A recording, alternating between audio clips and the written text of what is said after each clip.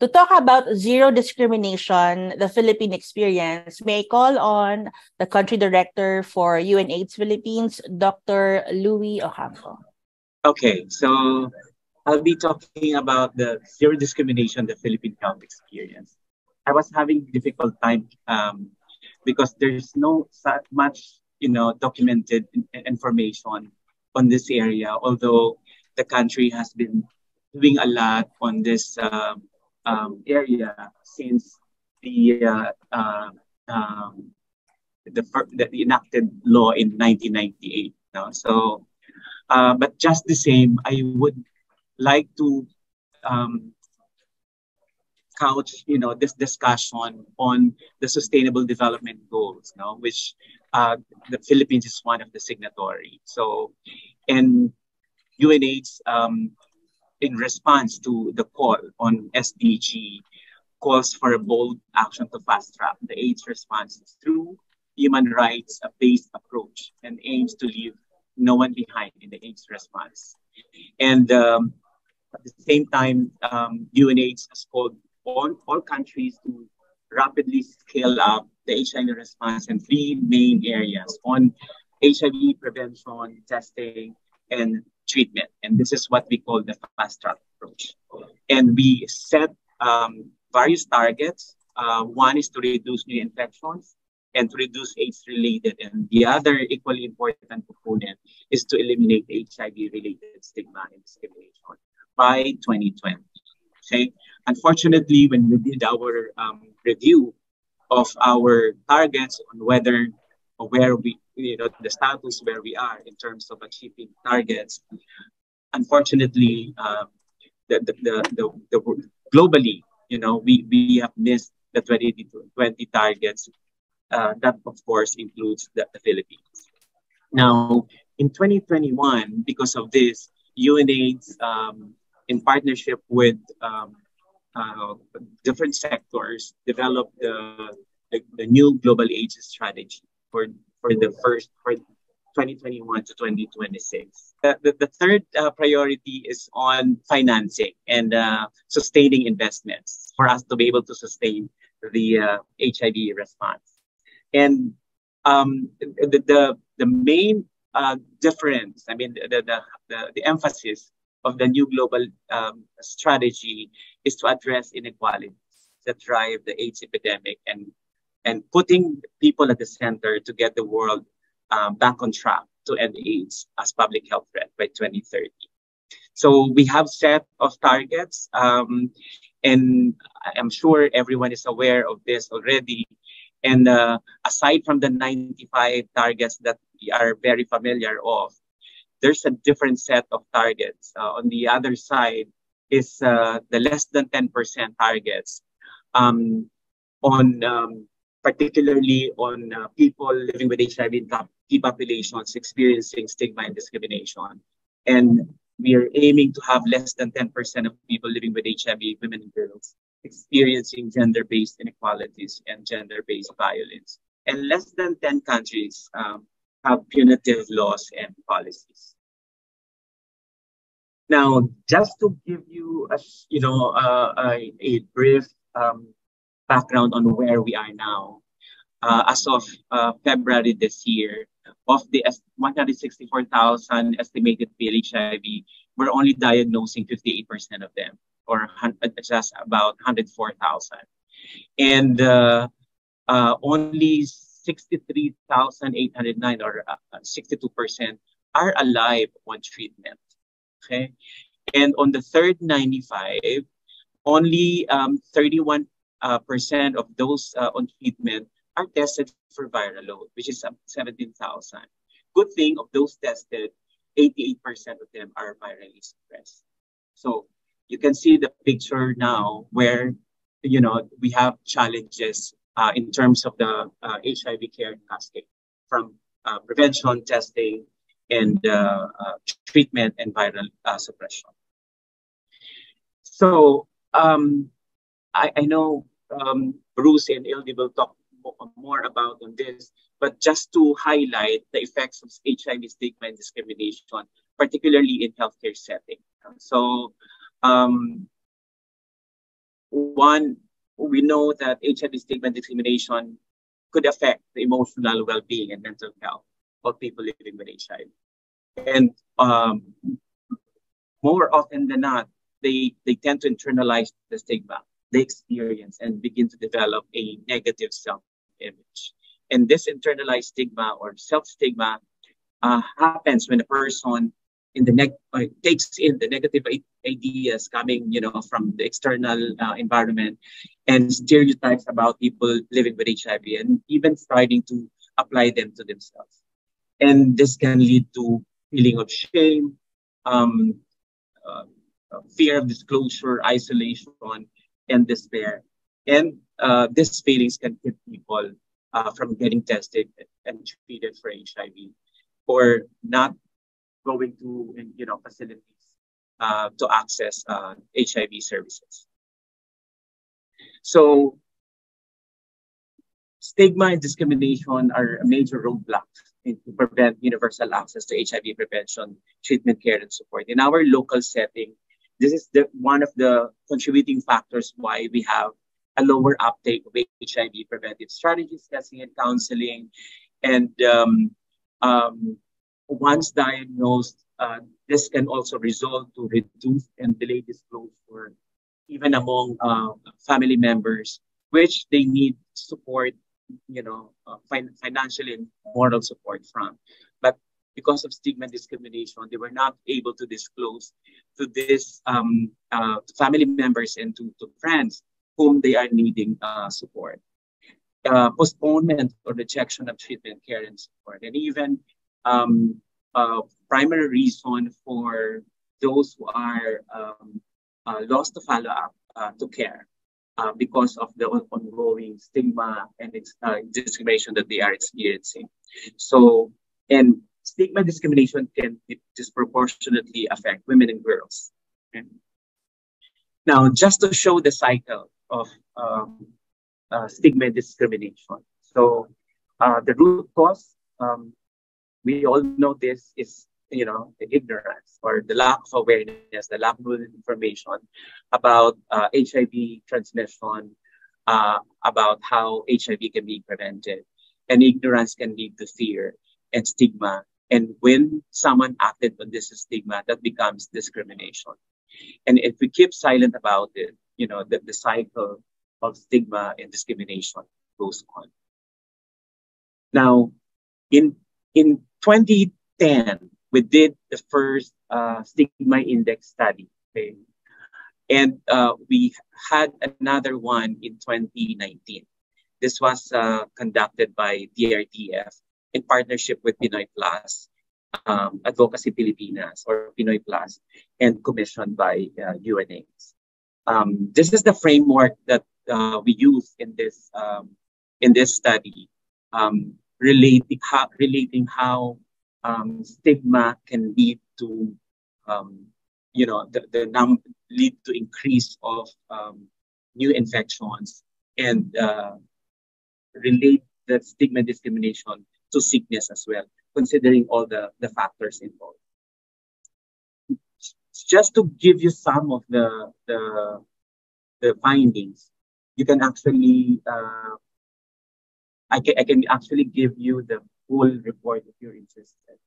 So this is the, the, the findings. This is 2019 already. This is much better than 2010 uh, report.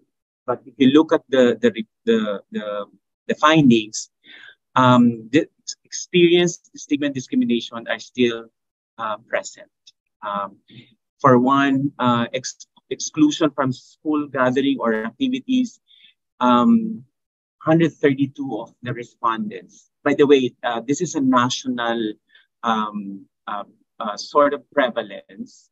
We did a randomized uh, sampling, um, taking into consideration all regions and all key populations. Okay, so 132 experienced that uh, that's about uh, six or seven percent of the total respondents and uh, two or 132 experience exclusion from religious activities or places of worship.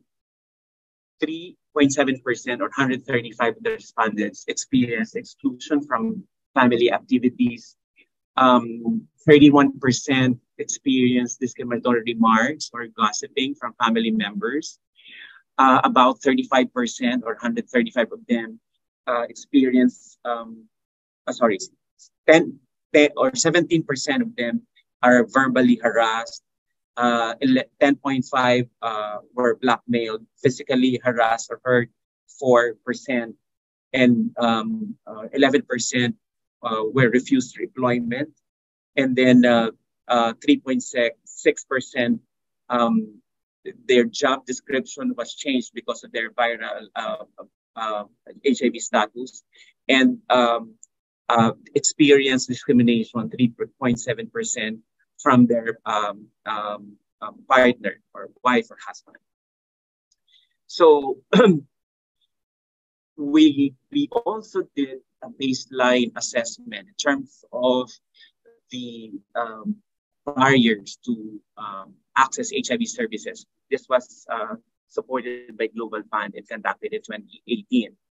And we um, categorized uh, the barriers into these um, um, thematic uh, areas. One is on shame, internal stigma, fear and denial among people from key populations about the reality of HIV, their risk, and the consequences of being diagnosed with HIV.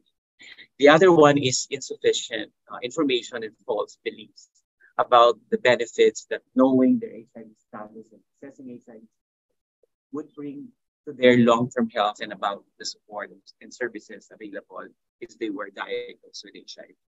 The other issue is on service delivery. Um, problems including lack of protection of confidentiality, quality and discriminatory treatment, and this also includes location, delivery models, quality and timing of services, again, stigma and discrimination, disclosure of status and for treatment by health workers and the others.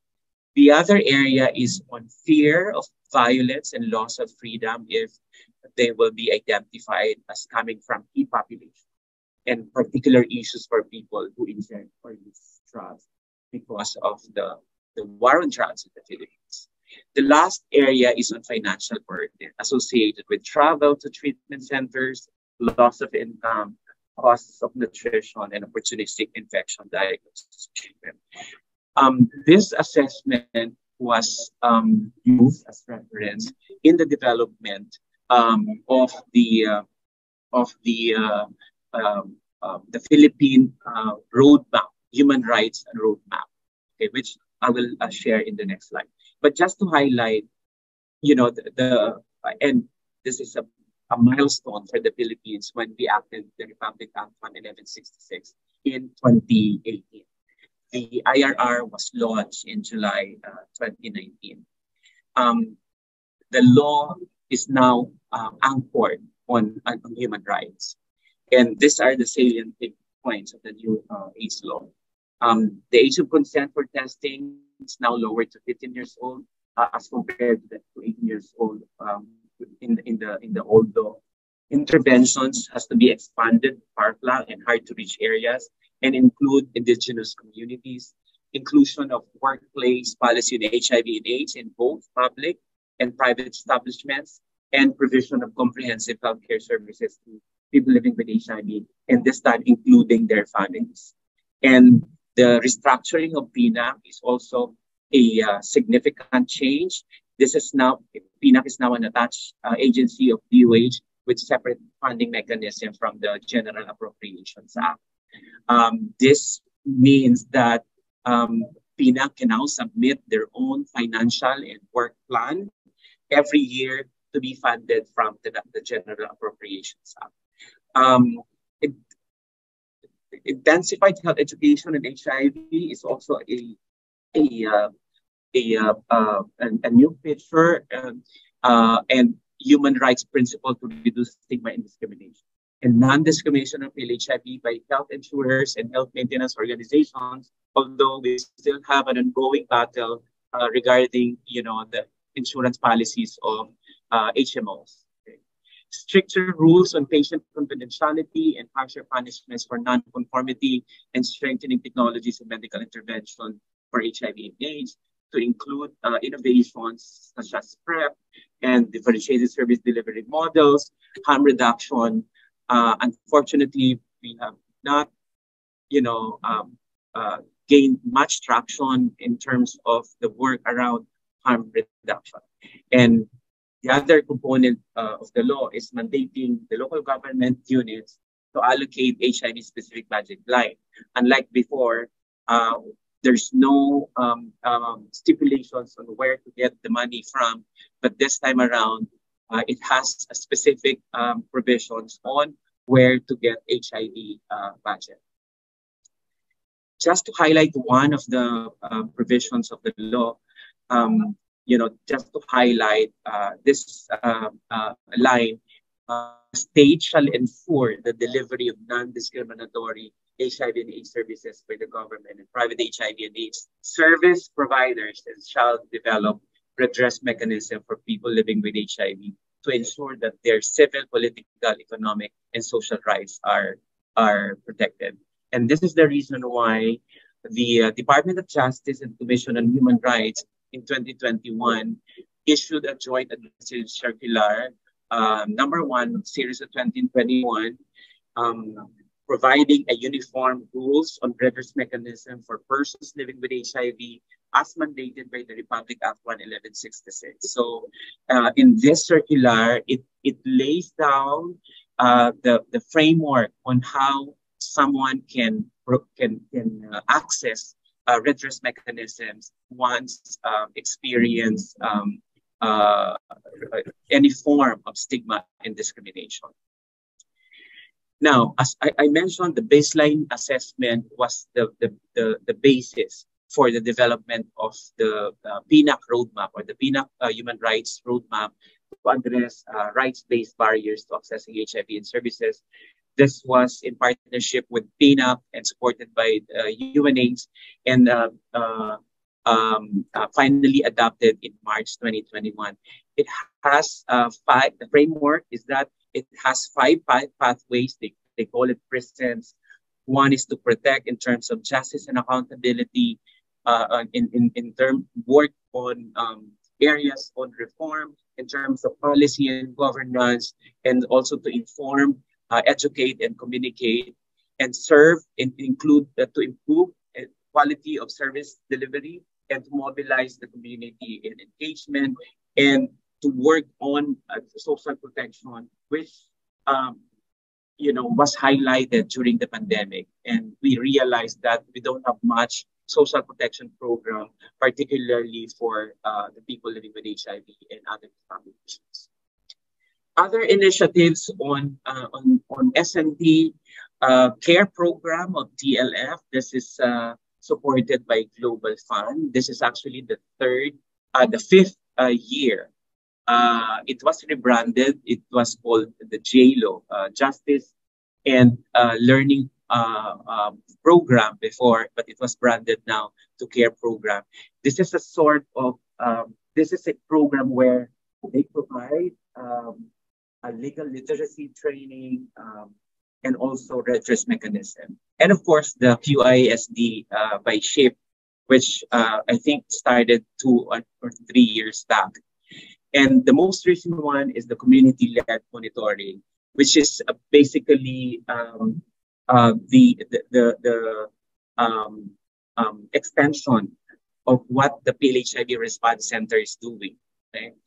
Now, the, the CLM is a system aiming to empower communities through capacity building, documentation of evidence and experiences, and co-creating solutions towards a responsive HIV-related health systems and, and social systems.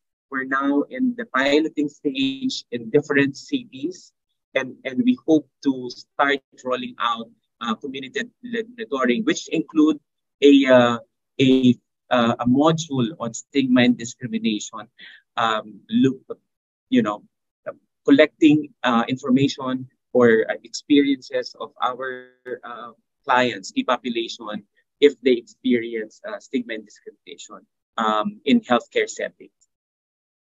So, I, as I said, CLM is not really new. Um, we have a the, the Pinoy Response Center, the PLHIV Response Center, the PRC, which is a system developed by uh, Pinoy Plus. We also have the Stigma Index, the iMonitor, and the care program of uh, TLF.